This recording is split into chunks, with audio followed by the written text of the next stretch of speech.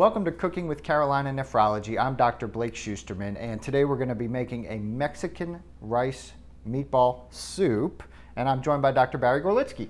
Thank you so much for having me. And the term for the Mexican meatball rice soup is albondigas, which is a great word to say in Spanish. The reason that um, I chose this recipe is because uh, my wife is of Mexican descent, and this is her kind of home home cooked when you're feeling a little sick. In my family and your family is probably matzo ball soup. Exactly, But or chicken and- soup, yeah. Yeah, exactly. So what we do is we make an albondigas soup, um, which is something we uh, thoroughly enjoy. So this is an authentic Mexican recipe. It absolutely is, at least according to my wife. Well, that's great. Um, well, I'm ready to get started. All right. Um, before we go, though, tell me, um, so you're going to be in our Spartanburg office? Yeah, that's right. So I'm really excited to have joined Carolina Nephrology just a few weeks ago, actually, fresh out of fellowship. And um, we've opened up a new office here uh, in Spartanburg. Uh, we're right off of the 296. We also have a dialysis unit in Spartanburg. And we'll be working at uh, Spartanburg Regional Hospital. So we're Great. really excited to be here. And it's who knew I'd start by cooking? Not something they taught us in fellowship, but No, something but- I thoroughly enjoyed doing at home. And uh, we're excited to be here to uh, present it to you guys. Fabulous. All right. Well, show us what, So- what we're doing. Yeah, here. so what we want to do first is uh, first you want to turn the oven on. Actually, turn your stove on. That's always important. Um, want to kind of medium medium heat. You want it to just kind of simmer. You don't want to have it necessarily like a rolling boil or something like that. Um, because this is a soup, it'll take a little bit of time to cook. The first thing you do is add water. Um, we add about four cups of water. We've already measured that out. And my wife would watching this, she would be laughing at me because I'm splashing everywhere, and that's just classic.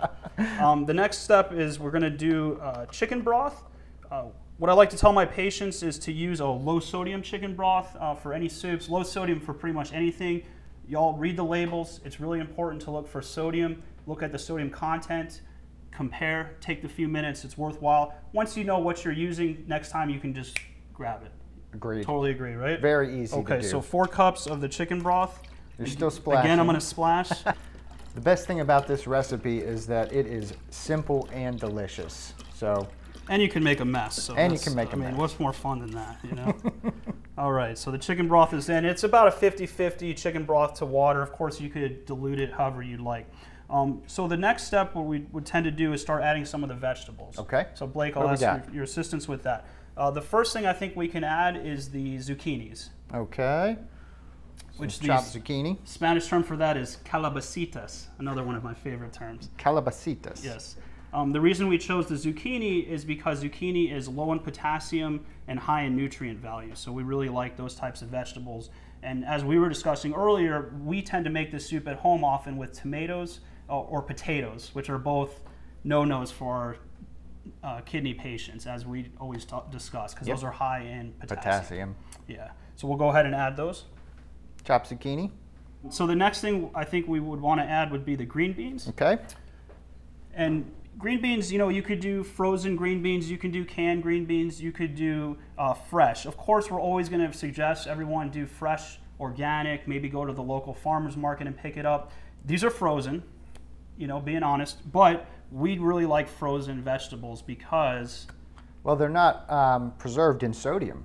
Now, you did say you can use canned green beans. So I don't know You about that. can do whatever you want, but and I appreciate you calling me out on that because it's an important point. We tend not to like canned vegetables because their nutritional value has been taken out over time in the canning process. Fresh or frozen, they tend to keep their nutritional value. Not to mention foods like that that are on the shelf for a long time, they're preserved. And what are they preserved with? Sodium. And that's our public enemy number one, as Yes, I it tell my is. patients. So that's why we tend to use frozen or fresh. Uh, the next one, we can add the carrots or the zanahorias. It's one of my favorite uh, Spanish words. Um, and these also are low in potassium, uh, high nutritional value, very low calorie snack. The next thing we can add is the corn. And again, uh, corn low in potassium, and we use the frozen corn as well.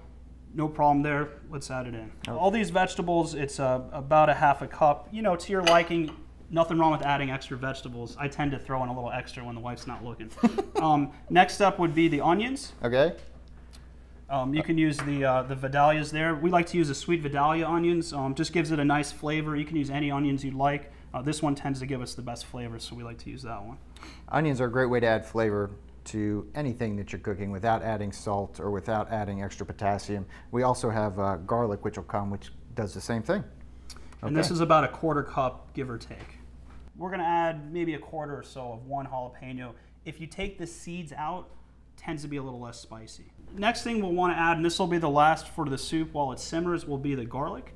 And you just do, you know, about one clove or so of pressed garlic. We like to use the garlic press, and we're gonna throw that right into the soup. All right, so the second step in the albondigas recipe is the albondigas. Um, we're gonna make the actual meatballs. Uh, so what we uh, have here is we have one pound of uh, ground turkey.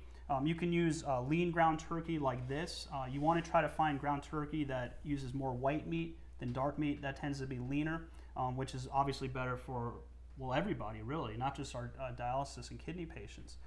The first thing we're gonna add for the albondigas recipe is we start with one teaspoon of oregano, and we're just gonna go ahead and throw that in. It doesn't have to be exact, and like I said, I like to make a mess, as we know at home. Um, the next one will be one teaspoon of the cumin, or we like to call it cumino. Fun word to say. And then what we'll add is a salt and pepper. And uh, half a teaspoon, I like to just pinch it in. I, again, I think it's kind of fun. So we just pinch some salt, a little bit like that. Never seen a nephrologist add salt to anything. Can't run for office now. You're in trouble. That's right, that's right. Um, and then we'll do the same pepper. The next thing we'll do is we'll go ahead and crack one egg. Um, so we're gonna go ahead and do that. Um, so this egg is in, and then what we add is one cup of actually uncooked rice, which is what something I really like in this recipe because uh, it's easy. And I never cook rice correctly. I don't know about you, but I always burn it if I do it. this is great. It cooks so in the soup, huh? It actually cooks in the soup. It adds uh, lots of flavor to the meatballs because you're actually going to combine the meat within the rice, and you make this kind of meatball rice, a little bit of egg, uh, real nice combination. Uh, we're going to go ahead and add the ground turkey, and we're going to do about a pound. This is about 1.3, so I'm going to go about like that. And then I just like to dive in. Like I said, I like to make a mess. Um, it's fun. So we're just going to go ahead and dive in, and we're just going to mix everything up. And the egg will actually mix uh, really nicely in there. And then you're just going to go ahead and pinch off uh, little uh, meatballs. And there's no science to this, there's no trick. Um, I tend to just take like my little pinchers and I just make the meatballs. And this is something fun. Um, if you have kids at home, I know you have an eight year old daughter, my daughter's seven. She loves making the meatballs. You know, she gets her hands messy, and uh, hers tend to be really small. so the number of meatballs doesn't matter. You know, tends to be probably like 12 to 14. All right, so uh, we're to uh, one of my favorite parts, which is uh, dropping the meatballs actually into the soup. And I love that the rice cooks in the meatballs. That's amazing. amazing. I, I, actually didn't believe my wife when she first uh, we were first going over this recipe. I said, "You don't cook the rice," and she said, "You do not cook it. It comes out perfect." It's going to be about an hour or so. So you know you're going to just go watch a TV show or something like that. Come back in 45 minutes to an hour, and what you're going to start to notice is that the rice will actually start to kind of break off of the meatball um, you'll start to see a little bit of the rice floating in there, and that'll tend to tell you that it's pretty much done. Give it a good couple stirs. We love to taste test. Mm-hmm. We do, mm-hmm. you know, it's so much fun. Um, and see what you like. Some people maybe want a little mushier, let it cook longer. If you like it, maybe a little bit harder, depending on how you do it you can take it off right there. But you're looking at about an hour of or a, so. Of a low simmer? Very low simmer, yeah. You want it um, just a little bit of simmering, not a big boil, anything No like top that. on? We tend to leave the top off. Great. You know? That way okay. the kitchen smells beautifully. All right, well, here we are, and this is our finished product, and man, is it beautiful. Look at what you made for us, Dr. Absolutely, yes. It smells delicious. Um, the last kind of finishing touches for this is going to be adding a little bit of the cilantro. Um, again, if you like cilantro, add a lot. If you don't like cilantro, we don't, don't add, add, any. That's right.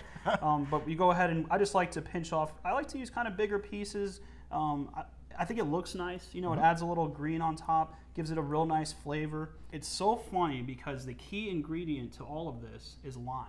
And if you try it without a lime, it doesn't taste right. Mm. It just doesn't taste right. When you add the lime, it just cuts it slightly and it makes it delicious. But we just like to squeeze some fresh lime right on top. And then if you want to dress it a little bit more, you can either add these uh, green onions if you like that, we like to add a little bit uh, during the boiling process. You can also add it at the end. Again, it just looks really pretty. Uh, you want to serve soup piping hot. Um, that's really how uh, it kind of re releases all the flavors the best. Mmm, What do you think? that's fantastic. Absolutely. That might be one of the best things we've made. Thank you, my friend. Yeah, Yes. it's delicious. That's a compliment to my wife for sure. Thank She's you. an excellent cook. Mmm, it's got a good amount of spice. It's got the lime. It's got the cilantro. It's fantastic. Well, thank you so much for joining us today on Cooking with Carolina Nephrology. Thanks to Dr. Gorlitsky and his wife for the recipe. This is easy to make. It's delicious. It'll fulfill all your healthy eating requirements. And if you want to find more recipes like this and videos, you can visit our website, carolinanephrology.com slash cooking. And we will see you next time.